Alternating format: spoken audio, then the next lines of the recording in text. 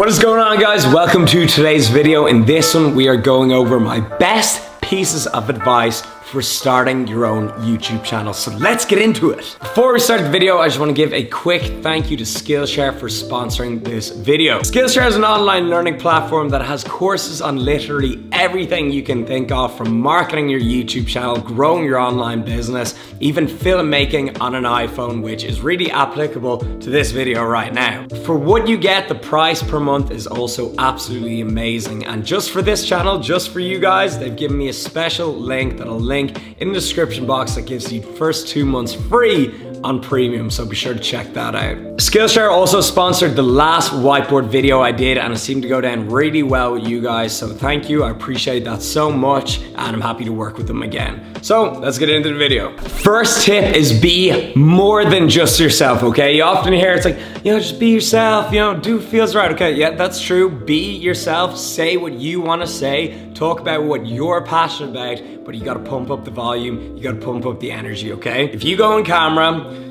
you got low energy, you know, you're, you're just kind of, your body language is kind of like this, you're not speaking. People are gonna get bored of the video, they're gonna stop watching. So be yourself, say what you wanna say, talk about what you're passionate about, but you need to get people's attention, okay? In today's day and age, we got short attention spans, we just do, okay? So you need to be engaging and hold on to people's attention when you're speaking about a topic that you wanna speak about. So that's tip number one, and again, that's something that takes a lot of practice, and you gotta get better over time and even before these videos, you'll see me, I'm like drinking energy drink, get myself amped up. I like do some speaking practices, everything. I get in the zone and that's what you gotta do as well. So that's tip number one. When it comes to clicking on your videos and people finding your channel, title and thumbnail matter. And I kind of like hate this tip because I've done some videos with amazing content and I just didn't get my title and thumbnail on point. They weren't attention grabbing. It didn't make people want to click on the video and so not as many people are reached. It should be the opposite way, but it's just the way it is. People will see an attention grabbing title and thumbnail. You want something that just says to the viewer like, oh, I really want to click on that. So it can be a question, it can be you know, what happens next, something like that where they want to click on the video to find out information on that topic.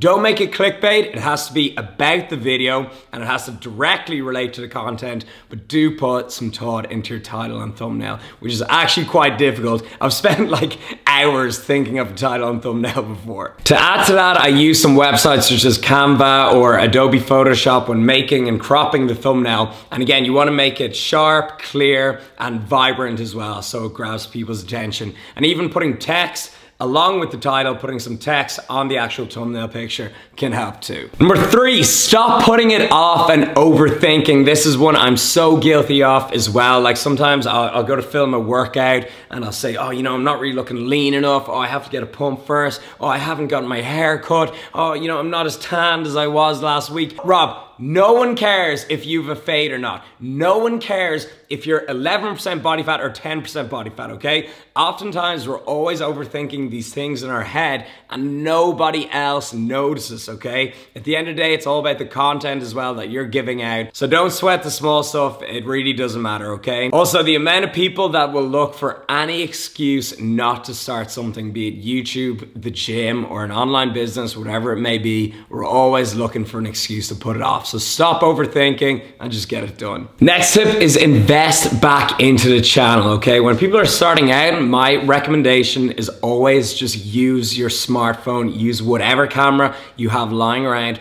Don't use anything fancy, you don't need to. The worst thing I could say is, you know, buy a really expensive camera and then you start vlogging, you start making videos and you realize maybe you don't even like doing it, okay? So use what you have at the start but as you get more into things, as things get more serious, then do invest back in the channel to increase the quality. Be it better camera, better editing software, hiring videographers, always something that you can improve on or even learn a course how to edit better. I've done that in the past myself. So always invest back into the channel, be it time, money, effort, whatever it may be. But at the start, don't worry too much about that. Just go back to the tip I mentioned before of just actually starting and then worry about investing further down the line. Next tip is be consistent. And just like anything in life, consistency is so important. If your viewers are constantly seeing you upload, they're gonna say, hey, this guy's putting a lot of effort into his channel. You know, I'm gonna click subscribe subscribe and follow along on his journey and be more engaged. Consistency is also definitely the hardest out of all these tips to master because sometimes, you know, we have a week or a month where the last thing we want to do is put our lives on camera, but you just got to show up to work and get it done. So consistency will pay off a lot and it'll keep your viewers engaged. Kind of like a TV show, you know, say you're watching Game of Thrones, there's a new episode out every week on a Sunday. Again, having an upload schedule is really, really helpful for your channel too. My next piece of advice is collaborate and put yourself out there. So when I first started this channel, the majority of the viewers were Irish and then I would, again, put myself out there, put myself in these situations. I'd go to American expos, collaborate with other YouTubers, and now actually a huge portion of my viewers, I think something like 30% are now American. Because again, I put myself out there and grew my channel and collaborated with other people around the world. This helps massively. You gain their audience. Your audience usually likes seeing you collaborate and interact with other creators, and it's just a win-win for everybody. So find people with similar channels and similar subscribers subscriber count and again just make some content with them. It's a lot of fun and can also be motivating for you to bounce off some like-minded people. So again collaborate as much as possible. One thing with lockdown I have missed so much is collaborating with other creators. Next tip is be patient okay? Do you think your first year on YouTube that's going to be the biggest year ever. Do you think that's gonna be when you make the best videos and have the most growth? No, absolutely not. Oftentimes there's a snowball effect and things need to pick up momentum, okay? So when you're just first starting out, you know, YouTube hasn't heard of you yet, you know? You've only made a handful of videos. But by the time you've made maybe a couple of hundred of videos, you're gonna have so much more momentum and it's gonna be so much easier for people to find your channel. So again, be patient, keep putting in the work, putting out content, and things will pick up eventually if you're actually doing good work. So like anything worthwhile in life, you're gonna need to have some patience. Next up is find your niche, be it gaming, fitness, beauty, makeup, fashion, travel, whatever it is, find your niche, do what you love and hone in on that. It's kind of like if people want to buy a power drill, they'll go to a hardware store. If people want to buy makeup, they'll go to a makeup store. If people want to buy gym equipment, they'll go to a gym equipment store. If people want to get a haircut, they'll go to a barber. So you need to hone in on your niche. So of course it's okay to go off topic sometimes and you know make videos on growing your YouTube channel or even I've done some travel videos or just some general vlogs. But the majority of my videos are about training and nutrition. So you often see the most successful channels, they find their niche, they find their craft, find what they love, and they really hone in on that. Now, next tip is focus on quality content, okay? And this kind of goes without saying, but it's still very important to include. You need to have content that helps people in some way, shape, or form. It needs to be informative, it can be funny,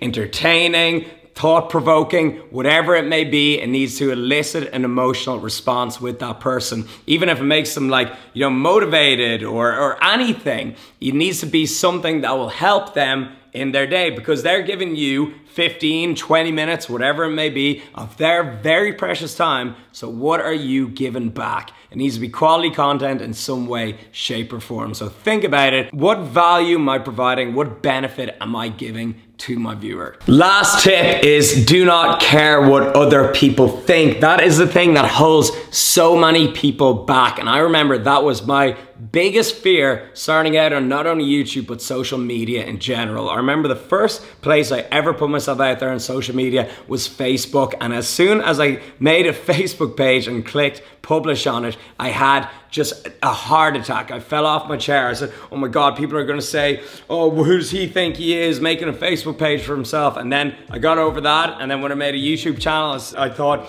oh, who does he think he is making videos of himself going to the gym? He probably thinks he's Arnold Schwarzenegger. Screw them, okay? If they're taking time out of their day to talk down on you, that's a reflection of them, not you. So again, talk about what you love, do it because you want to do it, and don't mind what other people think, okay? They're probably just bored and have a little bit too much time on their hands. So again, that's my final tip. I hope you enjoyed this video. I hope everyone's doing okay during lockdown and these crazy times. And I hope everyone's just keeping well and staying positive. So I'm gonna leave you guys here. I'll see you in the next video. Again, thank you so much for watching and keep it real.